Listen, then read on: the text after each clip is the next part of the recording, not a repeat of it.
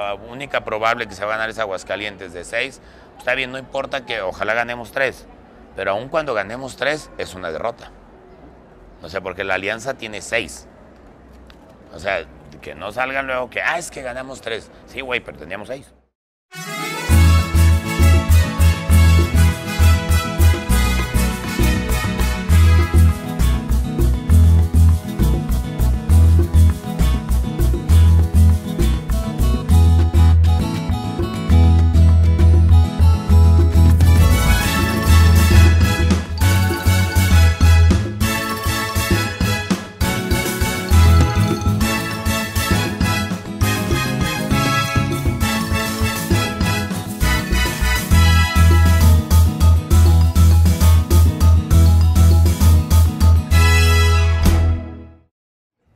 Amigos de RIT TV, con el gusto de saludarlos en una entrega más. En esta ocasión estamos con el gobernador de Aguascalientes, eh, Martín Orozco, y vamos a eh, hacer una entrevista muy atípica, porque ustedes saben que generalmente pues estábamos en estudio o la virtualidad, eh, cada quien en la comodidad de, de, nuestras casas. Sin embargo, bueno, pues hoy nos invitan a esta que dicen es nuestra segunda casa, en la cantina más... No, no, no, perdón, perdón, perdón, en la feria más grande del mundo, este, en la feria más bonita de este país, y, y para sorpresa de muchos, es eh, la feria que más derrama económica tiene, eh, como un evento aislado. Y miren que hay, hay grandes ferias en, el país, eh, pero bueno, sin, sin, más, vamos a entrarle, le, agradecemos al gobernador que nos, eh, pues nos dé la hospitalidad aquí en, el estado para hacer pues una cobertura de la feria, de, de, lo que es la vida nocturna que, que, que, hay en los palenques, que hay en la, en la vida taurina.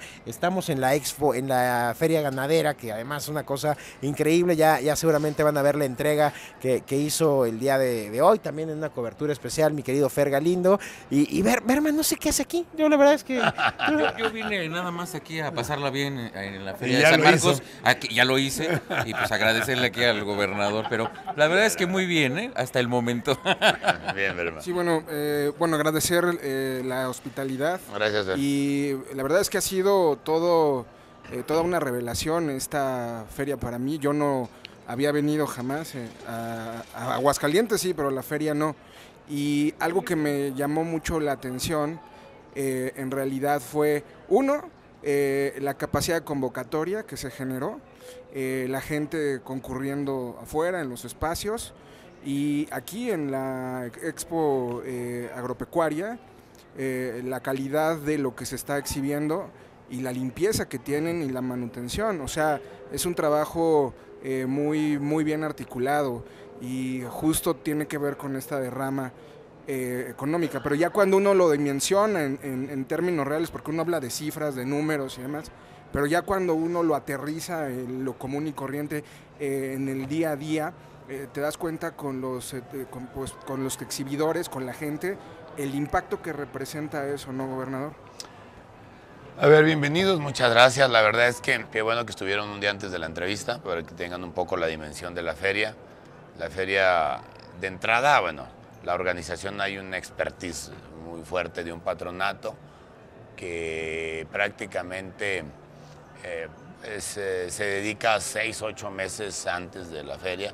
Cierra, cierra esta feria en julio y ya en septiembre inicia la, la preparación de la del próximo año una feria que también hay que entender tiene 194 años, o sea, desde 1928 está esta feria, empezó como un intercambio agrícola, ganadero, ¿no? El trueque, quizás que te lleves unas cosas, otras en el centro de la ciudad, en un pueblito muy pequeño, luego que se traslada ya en mil, 1928, también 26 aproximadamente, al barrio de San Marcos, que ya toma el nombre de Feria, Feria Nacional de San Marcos, porque está en el barrio de San Marcos, porque está en el templo de San Marcos, que luego a veces ya nadie se acuerda del templo, nada más de la, de la feria, ¿no? Y entonces la verdad es que la feria tiene. No, pero una... yo vi gente muy religiosa ayer.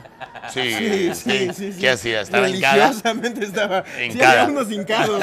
a ver, unos hincados. No, cre... Ay, no. Dios mío. Y, y, no creas que estaban orando. Hostia. No estaban borrachos, estaban no, orando. No, estaban orando.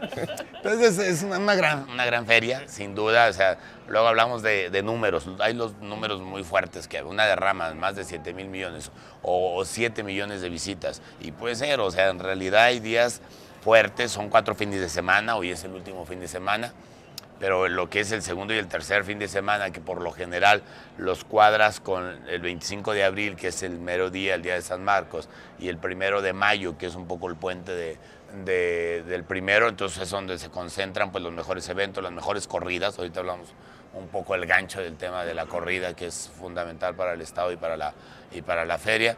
Entonces, 7 millones, la verdad es que eh, pues sí, porque hay quien va hasta los 23 días hay quien va 10 días y esto no es un tema de 7 millones de personas, 7 millones de visitas, son 90 hectáreas. Ustedes han recorrido una parte aquí de la isla que es donde está la parte agropecuaria, la parte muy familiar, la parte de esta estructura charra, la parte de los juegos, y vivieron anoche la parte nocturna, la parte de, los restaurantes, bares, y créeme que, la verdad es que esta, esta, esta feria para nosotros sí es el mayor producto turístico, sin duda. Sí, nuestra, nuestro estado es totalmente industrializado, eh, industria automotriz, ahora viene la aeroespacial, la industria en tecnologías, hay muchos temas de, economía que también hacia allá, hacia quería ir, porque yo he visto, por ejemplo, el Estado, y, perdón eh, la, comparación, pero es, es obligada.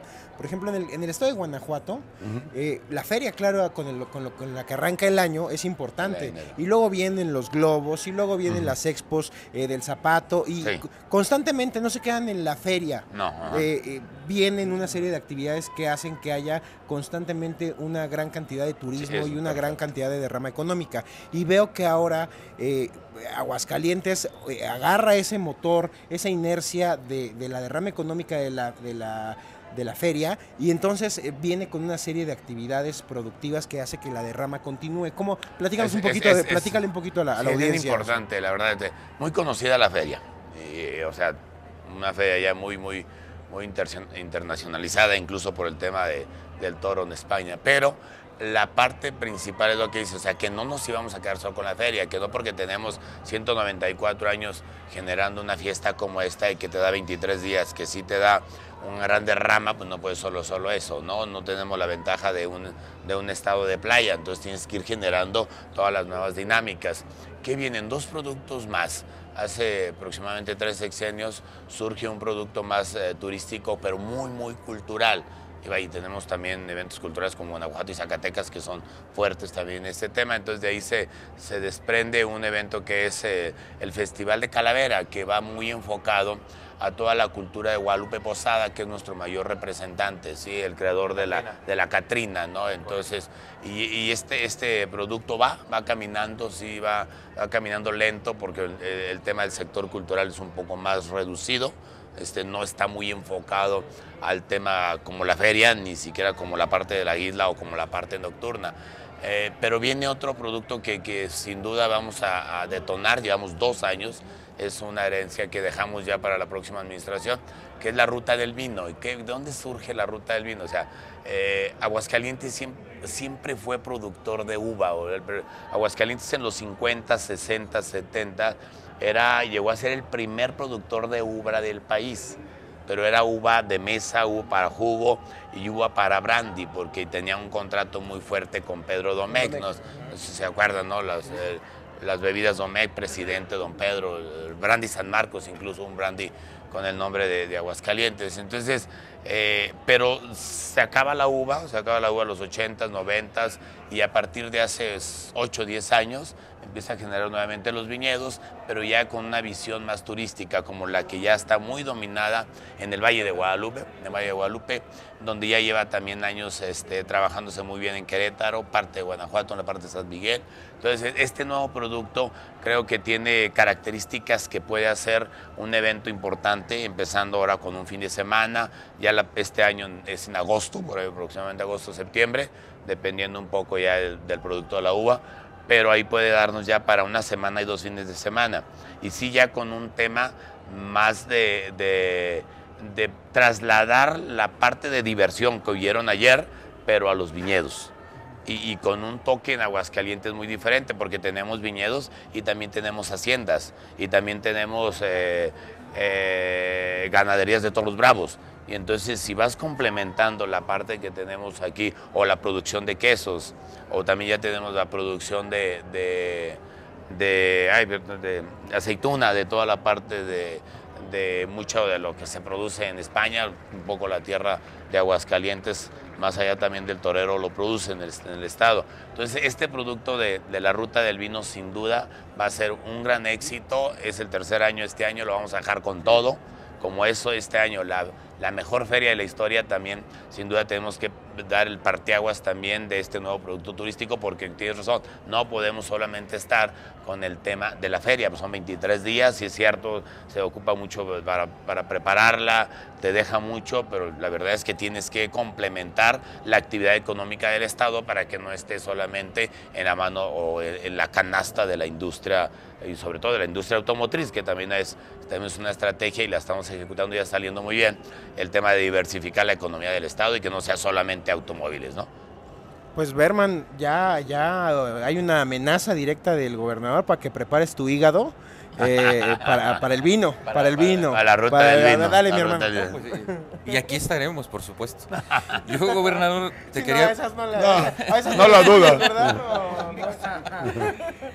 Yo te quería preguntar, gobernador. Eh, Aguascalientes eh, colinda con estados que actualmente tienen una crisis importante de inseguridad.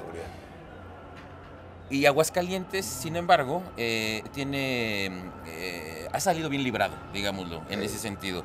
¿A qué se debe? ¿Qué, es lo que has implementado para que no pegue, digamos, esta crisis de inseguridad en, en Aguascalientes, a pesar de estar digo, rodeado de estos estados que están complicados? La amenaza es latente. Ah, sin duda la amenaza es latente. El tema de tener Zacatecas y Jalisco, y bueno, y hay que cooperar con ellos. O sea, no es, aquí no tratamos de echarle la culpa, ah, no, que Zacatecas me aventó los muertitos o Jalisco, no. Se trata de, colaborar, de ayudar. Eh, la ventaja de Aguascalientes es, sí lo quiero decir, es lo, pequeño.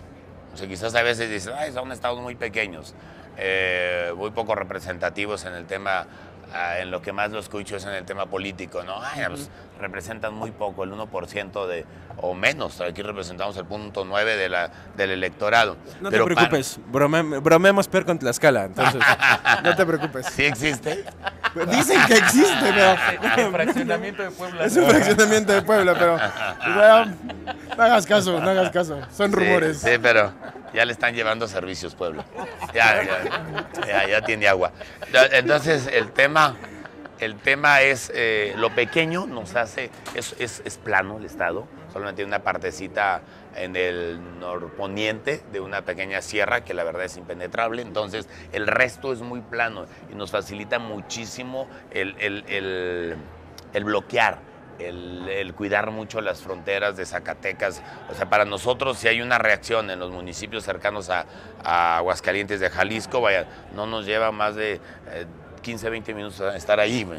O sea, cruzamos la ciudad eh, o el estado lo cruzamos en 50 minutos, todo el estado. Entonces, esta es una gran ventaja, sí, sin quitarle el mérito que tiene la parte de, tecnología que se maneja, policías muy bien capacitados, muy bien coordinados con la policía municipales, el ejército también se, coordina muy bien, la guardia no sé si todavía existe, pero eh, sin duda el tema es la coordinación de las corporaciones, la tecnología, el tema de inteligencia lo trabajamos también muy bien con, con el ejército y la verdad es que hay una muy buena relación con la zona militar y yo creo que el trabajo se está haciendo, se tiene equipado el Estado por pequeño prácticamente con 3.600 cámaras, sensores, por todos lados lo estamos vigilando. A las entradas tenemos puertas, puertas en tres entradas de las cuatro, una es hacia San Luis, Zacatecas y otra hacia Guanajuato, eh, o hacia Jalisco, eh, puertas eh, que controla el ejército. Entonces ahí están vigilando todo lo que entra y sale. Tan sencillo. Entonces creo que eso también ayuda mucho. Oye, a ver, yo en ese sentido quería yo tratar de entender Aguascalientes en una lógica de que claro, la parte agroindustrial es un motor del Estado, Eh, sin embargo, tienes un clúster de tecnología importantísimo, hay armadoras eh, de, de autos, o sea, eh, la diversificación, lo- la parte de servicios y la vida que le genera la feria hace que, que hay- esté muy diversificada la parte económica, la derrama económica de- del Estado. ¿Cómo logra Aguascalientes ser un integrador de tantos Bien. polos de la economía nacional? Bien, hace aproximadamente unos 10 años éramos el cuarto estado más dependiente de una actividad económica. El quinto estaba Quintana Roo y Baja California Sur dependían exclusivamente de turismo. Tabasco y Campeche de petróleo, cuando, cuando, cuando valía. Eh, hoy vale, pero cuando se eh, visualizaba la energética. Y luego Aguascalientes era un estado que dependía mucho o dependía en su mayoría de la parte automotriz. La verdad es que ahora no. Ahora se le ha metido fuerte a la parte de la agroindustria, aunque es un territorio muy pequeño. Aquí la gente eh, trabaja mucho las partes de las tecnologías y el campo también es tecnología. En el campo también tienes que meter toda la parte de tecnología, o sea, ya, ya que, la- que le caigan ciertas gotas al producto. O sea, y, y hay quien abajo del producto, ahí en la raíz, te está midiendo la humedad de todo el fertilizante. O sea, todo es tecnología, ya, ya la persona puede estar en la feria y desde acá hasta puede estar perfectamente monitoreando toda la, la humedad de cada producto, de cada este, cañita o lo que sea. Entonces, creo que, que el tema de la agroindustria, el tema de la tecnología en la parte aeroespacial, y esto sí lo, reconozco, lo jalamos de, Querétaro. Querétaro es fuerte en aeroespacial. Entonces hicimos una vinculación muy interesante entre Querétaro, Guanajuato, Aguascalientes, San Luis y Jalisco con la Alianza del Bajío y entonces hacemos mucho intercambio porque al final el- el perfil del Bajío es muy parecido. O sea, es un, es un soporte económico para el país, un tema basado en educación, un tema basado en tecnologías. Antierra anunciamos 700 millones de dólares, o sea, son 1.400 millones de pesos eh, para Nissan. Y Nissan no es una planta, no vas a ver una planta nuevamente de armar coches, simplemente es quitar los aparatos con los que hacías un coche de motor de combustión a un coche ahora eléctrico y autónomo. Y nada más para transformar, para transformar el equipo, la maquinaria de una planta, bueno, pues son 700 millones de pesos, donde de ahí surge eh, los 23 nuevos eh, vehículos eléctricos que mandará Nissan de aquí al 2030.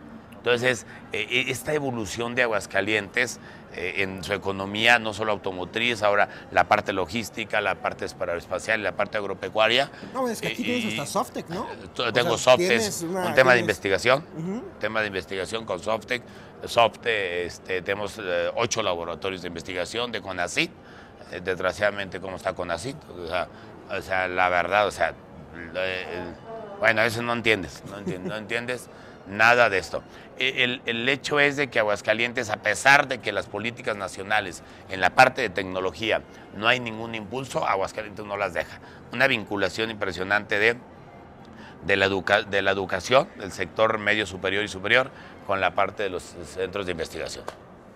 Mi querido Fer. Sí, sí, no, eh, muy interesante. Y eh, el, el asunto que acaba de mencionar sobre la feria como una eh, actividad que se viene realizando desde hace muchos años, si bien es cierto que se queda como una marca que es muy difícil pues mover, eh, hubo una pandemia y do- dos Una años pandemia. que de, de alguna manera detuvieron todo este flujo económico tan necesario eh, y me parece muy importante pues que el Estado de alguna manera haya tratado de encontrar los mecanismos para pues eh, apuntalar eh, una- un resurgimiento económico.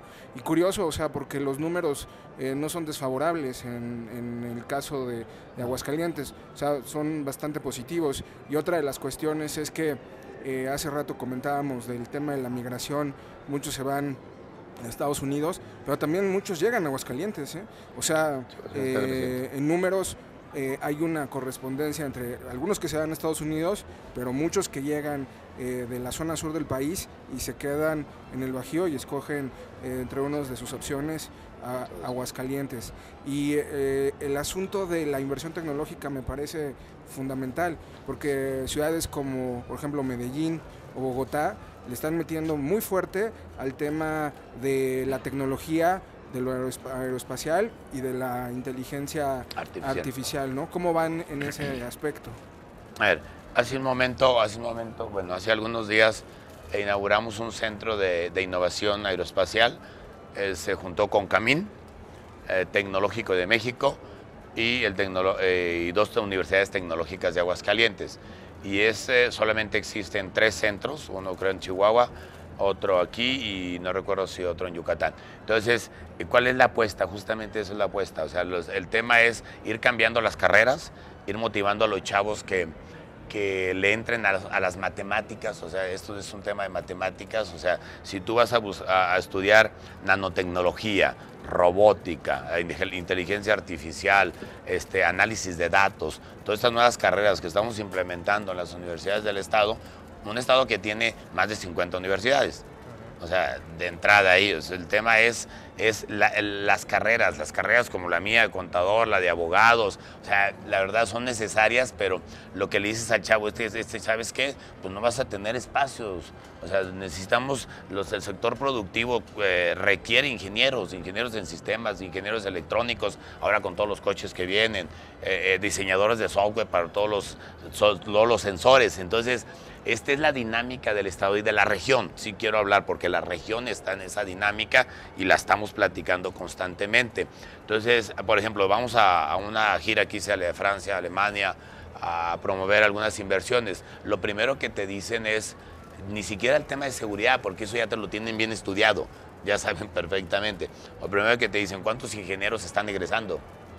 O sea, incluso me sorprendió en una que dijeron, bueno, ¿y de esos ingenieros cuántas mujeres son? Porque para la parte de electrónica es impresionante, pero quieren mujeres ingenieras. Para la electrónica, o sea, por, por los pequeños eh, tabletas de, silicio que, le ponen, prefieren mujeres. Entonces, es, increíble, pero el tema es educación. Yo siempre he dicho, Aguascalientes tiene una continuidad independientemente que sea PRI, PAN, o sea, que hemos ido alter, en la alternancia, porque hay un seguimiento muy claro que la fortaleza del Estado en materia económica es la educación.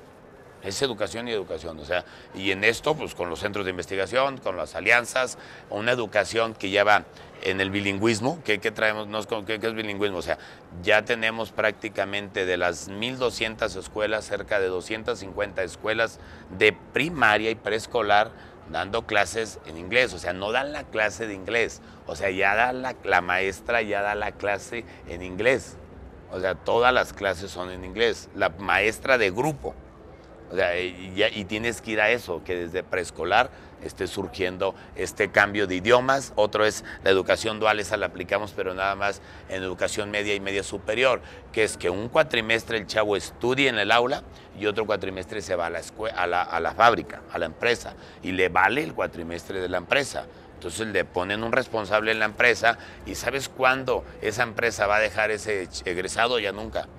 Porque además ya se ahorró el periodo de y el costo de capacitación. justo eso fue gran parte de lo que eh, en esta administración eh, del gobierno de López Obrador quitaron, o sea, esa eh, correlación específica entre la persona que está estudiando y se va a trabajar a una empresa para que la empresa de alguna manera también pues lo tome y lo capacite y luego lo pueda contratar. Entonces rompieron esos mecanismos que me parecen terribles y, yo creo que algo así pues no, no debería ocurrir. Pero otra cosa también hace rato decía que el Estado ha impulsado eh, de alguna manera eh, el desarrollo económico y yo soy un eh, crítico muy acérrimo de la intervención estatal, pero lo que vi aquí es que no interviene tanto, sino que deja que se ah, exhiban los productos, que se muestren y el resto lo hace la gente, los propios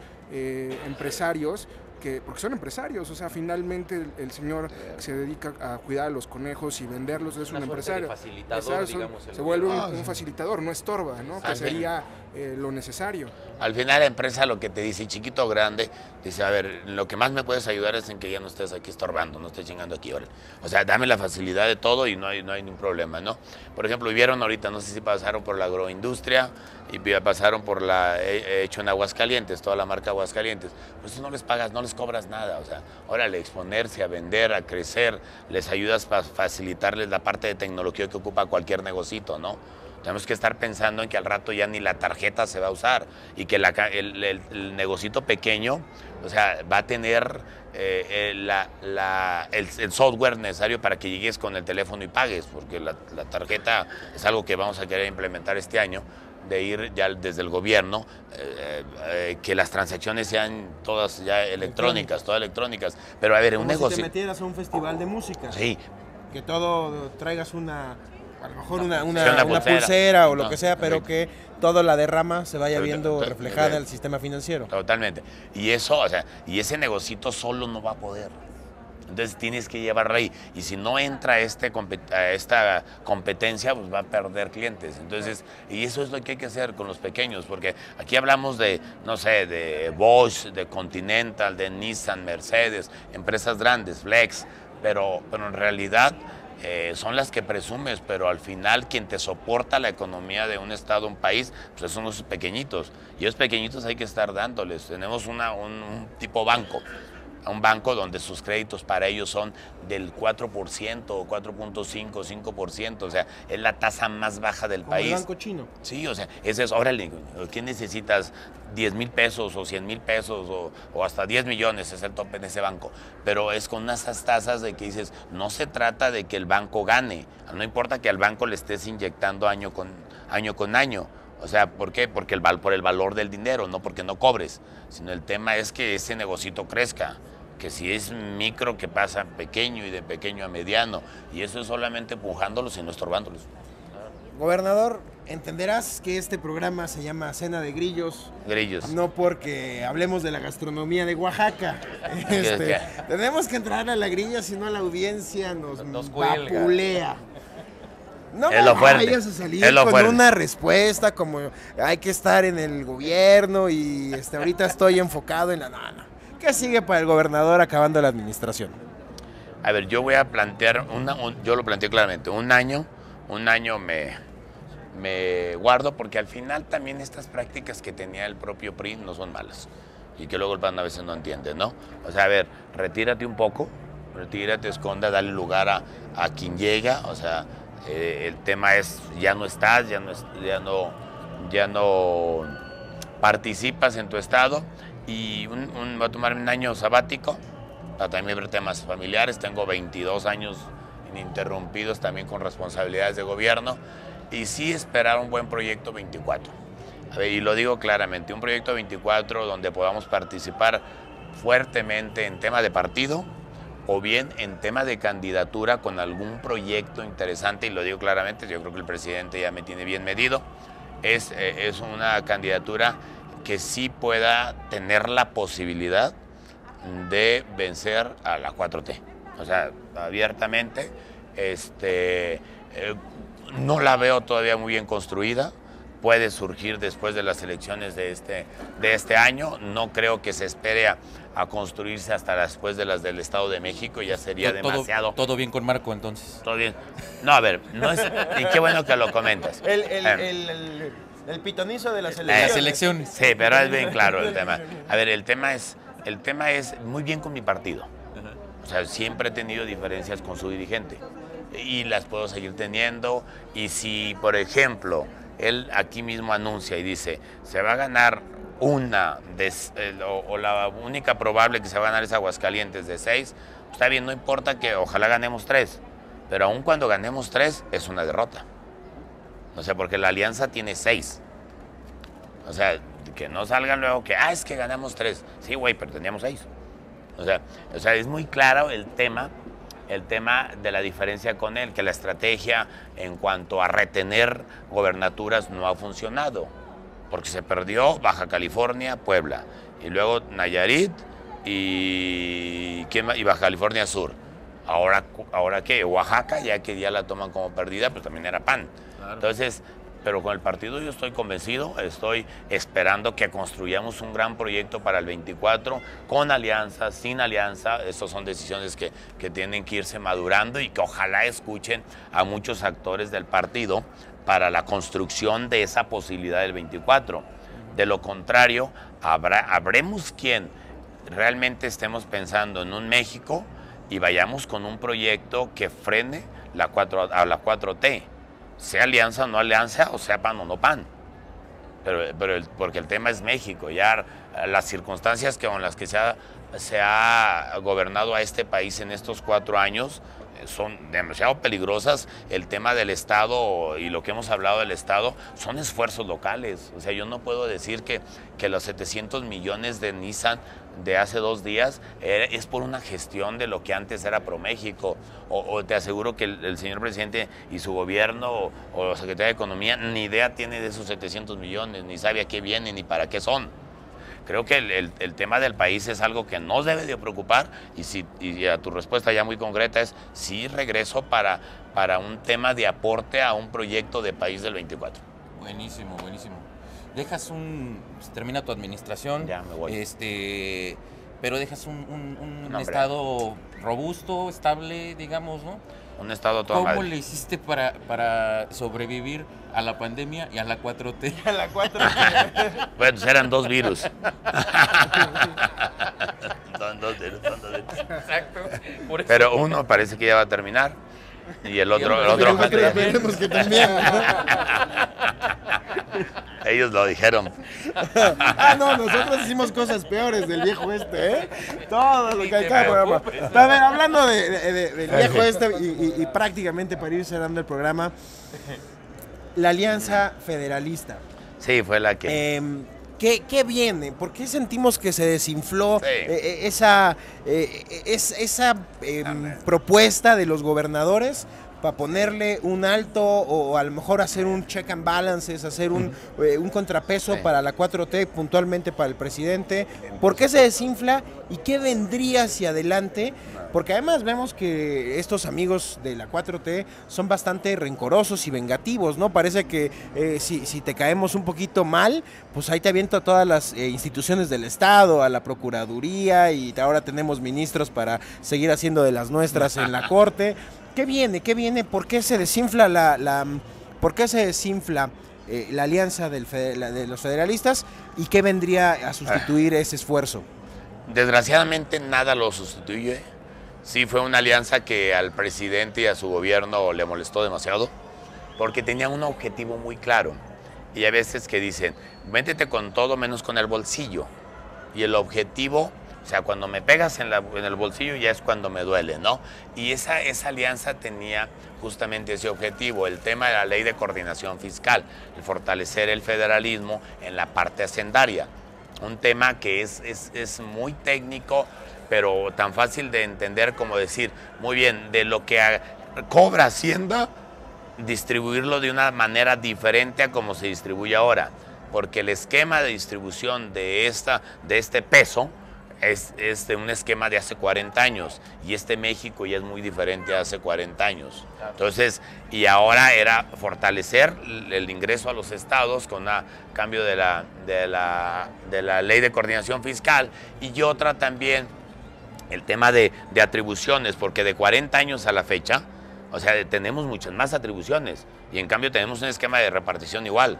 Luego fuimos ganando terreno con, con el presidente Spripan en cuanto a sí facultades, pero también ingresos con fideicomisos o recursos extraordinarios.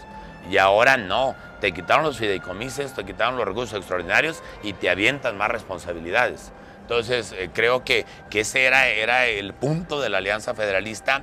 No hay quien la sustituya. Yo creo, yo también eh, coincido en que era una fuerza de diálogo política, más no legislativa, que es donde debe de surgir esa modificación. Entonces, ojalá que el Congreso realmente, así como el presidente trae sus, sus eh, temas de, de INE, trae sus temas de energética y, y la Guardia, sus tres grandes eh, reformas, ojalá que el Congreso, la Cámara, el, el Congreso de la Unión jale también algunos temas de él y también los ponga en la mesa y un tema de estos y le ayuda a todos, porque todos los representantes del Congreso están de algún municipio o de algún estado y donde tienen que cambiar esa reforma. No me toca, no me beneficia, pero en realidad a quien le va a beneficiar a todos los nuevos gobernantes, porque yo dejo un estado muy fuerte. Amigos, se nos ha acabado el tiempo y estamos a punto de que se nos acaben hasta las baterías de las cámaras, así es que tenemos que, que dejarlos, van a haber más eh, entregas, más cápsulas eh, en RIT TV de, de esta visita que estamos haciendo eh, con, con la gente de gobierno del estado aquí en Aguascalientes, porque la feria, este, es, su estado, su feria es un primor. Un primor, y, ayer la cantaron. No podemos cerrar si no dices tu frase. Bueno, amigos, antes de cerrar, mi querido hermano Berman tiene un anuncio que hacerles. tu frase, tu frase. Bueno, mi frase es, acuérdense que los impuestos son un robo. Gobernador, Cuando te traje, no se yo un reflejados. te traje un regalito para que ahora que entregues la, eh, la administración, este, puedas brindar. Este es el mezcal que, que yo hago, que es 100% Lágrimas Chairas. Lágrimas chairas. Y- y- o y- sea, de y los este- chairos. es- exacto, y esta es la edición especial que es el reposado con gusano. ¿Y el Entonces, gusano quién es? Ahí está, mira, por ahí. No, anda. pero No, ¿quién? no, el gusano no es el otro, ¿eh? No es el otro. Y acá con su, con su salecita Ah, también. muchas Entonces, gracias. Este es bastante Muchas más gracias, productivo. muchas- para que no hay- brindes ahí con tu equipo, y no ahora hay- que termines. Y, no hay lágrimas fifís. No, no, esas no. No, No, no, no. Muchas Solo gracias. lágrimas chairas. Gracias, gracias. Gracias. Gracias, amigos. Gracias. Nos vemos la próxima.